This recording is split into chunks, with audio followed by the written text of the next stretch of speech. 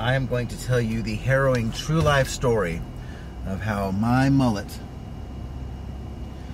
caused me to get in a car accident one day. So starting sometime, I would say in 1988 through maybe 1990, I had a mullet, and um, and I loved my mullet. I, I loved. I almost hit my. I almost hit my. I almost hit my boss. well, my boss's car. She decided to back up as I was uh, pulling out of the driveway. so, uh, anyway, um, so I really like this mullet. I mean, like, it was long enough at one point where I could whip my hair, whip my hair back and forth, and it would hit me in the face. That's how long it was.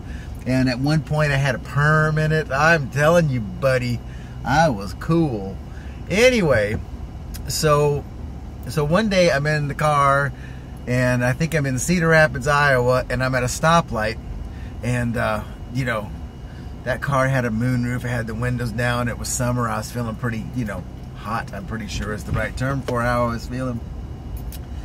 And uh, so, so I'm I'm checking my mullet. I'm checking to see how good I look uh, in the rear view mirror, and out of the corner of my eye, I see the I see the the, the stoplight turn green. So like an idiot because I'm distracted by my beautiful mullet. Uh, I don't even look. I just like let off let off the brake and start to go, and bam, hit the car in front of me.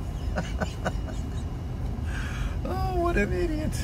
Anyway, so now fortunately, I wasn't going very fast. I mean, I don't know if there was even any damage, um, but uh, but anyway, um, yeah. Anyway, so that's how my mullet got me into an accident, and let's face it, it's how my vanity got me into an accident.